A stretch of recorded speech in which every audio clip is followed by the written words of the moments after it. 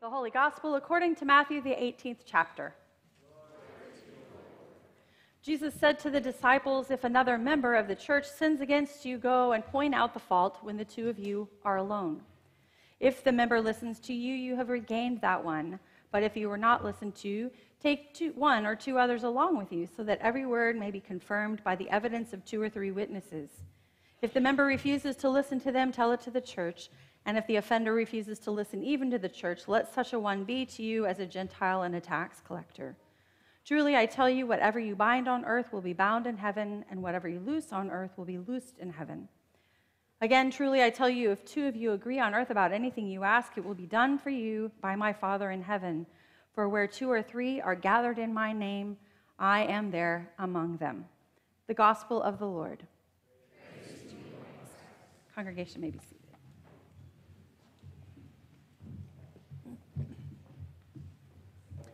Please pray with me.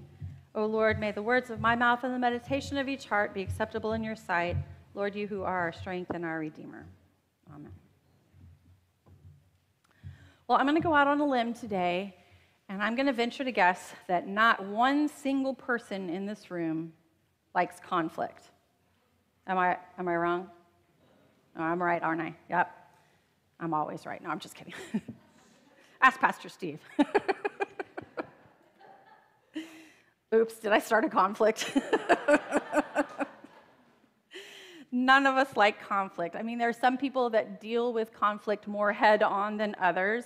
Um, some are not afraid to call it out, but even those people don't love conflict. They just face it, right?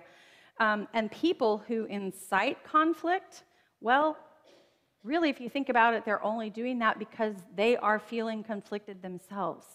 And this is how they're reaching out to fix or address that issue. So let me say it again none of us like conflict. And it's how we are wired. I mean, even hardwired. So I'm going to go back to my undergraduate degree in science, and we're going to talk about the body for a second. Because our bodies are a well oiled machine or system, and actually, if we really get down to it, nine different systems biological systems, all working together in balance to keep us running and performing in the most optimal way as possible. Now, of course, as we get older, it's hard to keep all those systems up and working because they start to wear out. I have a few joints myself that are starting to say, we're not well oiled right now. But even in the young, when something gets out of balance, the rest of the system shifts in order to work to bring the body back to stabilization, to balance, or homeostasis. Big sciencey word. When we're out of balance, we experience what we call disease. But I'm going to slow that word down for you and break it apart the way my pathology instructor did in college. When something is off in the body and things are working, aren't working the way they're supposed to, we call that disease or dis-ease. So lack of ease. The body is in dis-ease and fights to bring back to balance so that all works together as seamlessly as possible again. Dis-ease, when a system is out of balance or in conflict.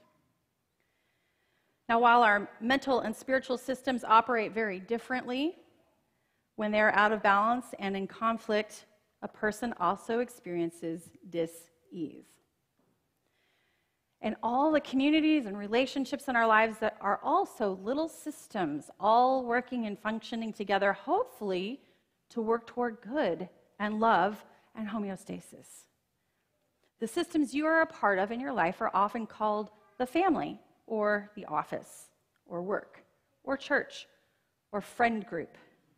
And I'm sure you're all part of many more systems that are particular to your own life circumstances as well. So it's with this concept of systems in mind that we're going to talk about today's gospel. But first, I want to get acquainted with where we're at in the bigger story.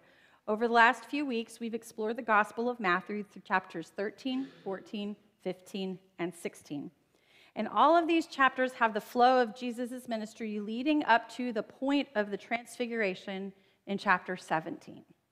They're all parables and healing stories and declarations that show the people who Christ is, what Christ has come to do, and in some ways to build faith or even show the faith of others. Some have strong faith, some stumbling faith, some have shown unexpected faith.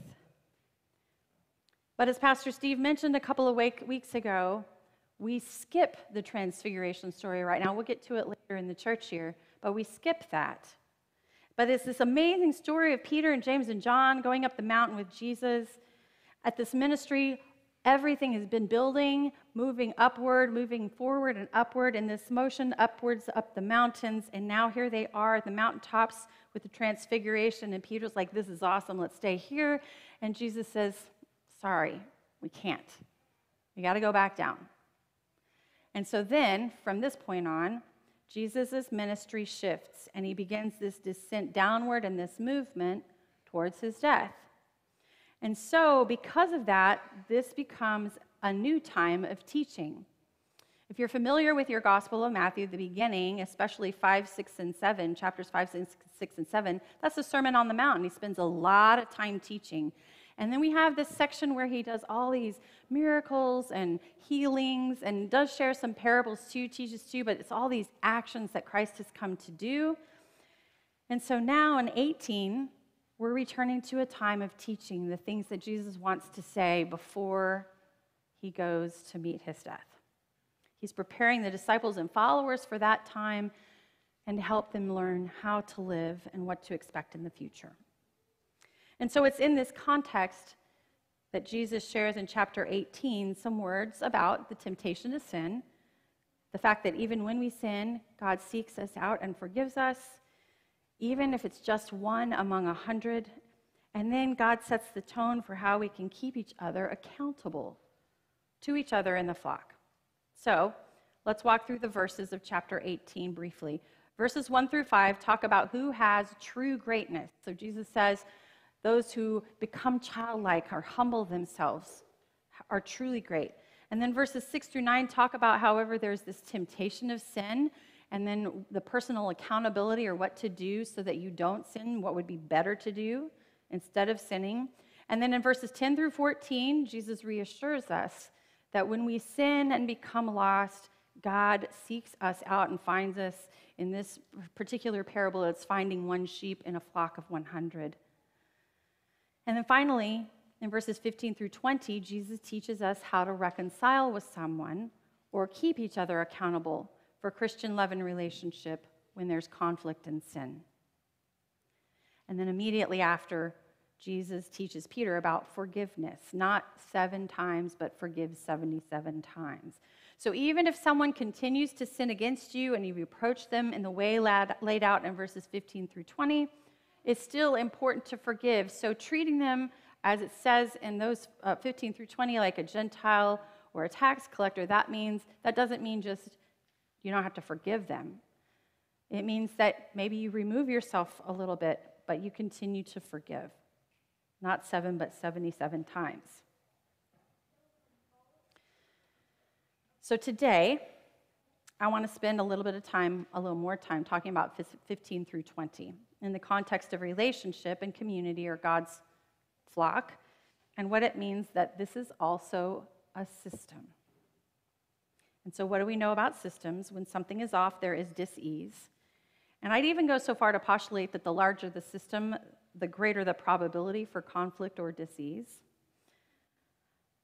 So, here comes conflict and disease. What we haven't talked about is the way a system handles that when it happens.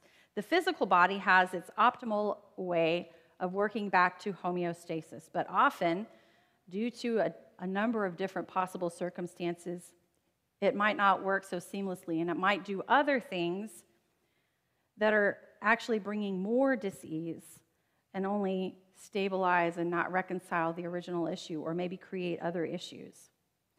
Systems might shut down to work on the problem only to cause other problems. I use the example of my father in law who had a liver transplant many years ago, and they had to put him on medication so that his body wouldn't reject the liver. But then there are parts of his body that didn't like that medication, so they had to give him medications to fix what those medications were doing. And then they had to give him medications to balance those medications. And there was a lot of medications for a while. Sometimes the disease might be so big in a normal situation that the issue ends up causing greater harm. And so, this is the same way it is with communities or relational systems. And this is what Jesus speaks to us about in verses 15 through 20.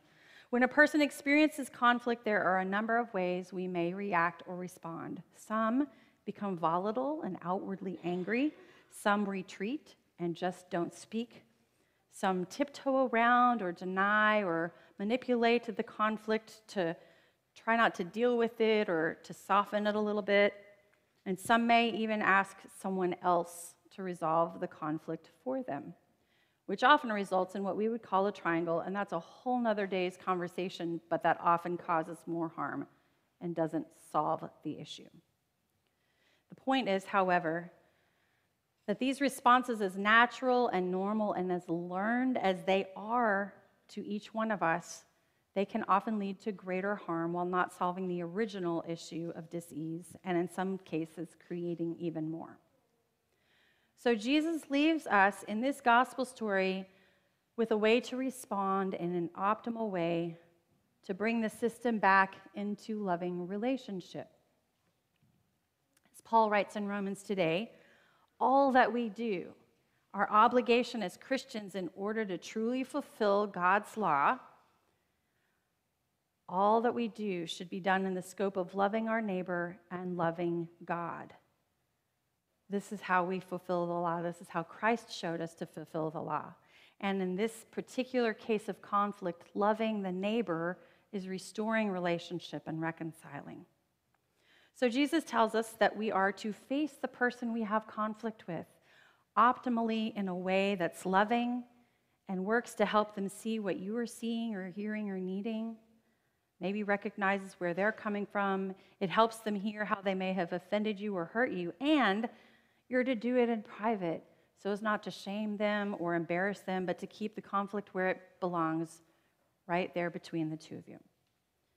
And if this doesn't work, because as we know, in many cases, we're human and we're not perfect, and our feelings get in the way, or maybe we misunderstand and our language is a little different, it's so hard to communicate well sometimes, and we can't necessarily hear each other. So, in these cases, we're to bring someone else along with us. In verse 16, it says, But if you're not listened to, take one or two others along with you, so that every word may be confirmed by the evidence of two or three witnesses.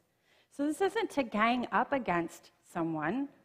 It's not to it's not to refuse to listen to the other person. In fact, it's in the spirit of keeping that conversation loving and having someone there to help maybe interpret or help you understand each other, serving as a facilitator, maybe even validating each person. Like in the story of the orange, the two girls weren't listening to each other. And so it would have been really helpful if the dad, instead of coming and becoming part of the conflict, had come in and said, What is it that you both need? And helped them to find a win win. But if this doesn't work and no one refuses to listen, then you bring in the whole community. If you're in conflict with someone and you bring your hurt and forgiveness to them in a healthy and loving way, and then you have to do that with a small group of people and it still doesn't work, the idea is that perhaps the whole community needs to show support and concern for reconciliation and to help that happen. And then finally, Christ ends this lesson with words that where two or more are gathered in my name, I am there among them. We have often misused the context of this verse in a more broad sense of Christ's presence when we gather, and of course, we do recognize that Christ is present with us anytime we gather. But in context here, this is a reminder that in all our reconciliation, in all our conflict, in all of our conversation with each other, Christ is present with us there also. So it makes me wonder would I or would you handle conflict differently if you reminded yourself that Christ is right there with you and that other person in that very moment? Because Christ is a part of our reconciliation, and Christ reminds us that reconciliation should be done in love and because of love. So, in our world, there are systems all around us, relationships everywhere for us. And systems are tricky, they're tricky things. There are many ways that conflict and disease can erupt. And in most cases, handling it in love will shift the system right back into relationship and reconcile. But sometimes it takes a bit more. Here's the good news, though, in all of this conflict Christ teaches us how to reconcile in love and actually reconciles all of us in God's love. Christ is loving us in the midst of reconciliation. We are not alone, but we're always part of a family in baptism. And hopefully, it's that system and balance that works together for good. God's work, our hands. Amen.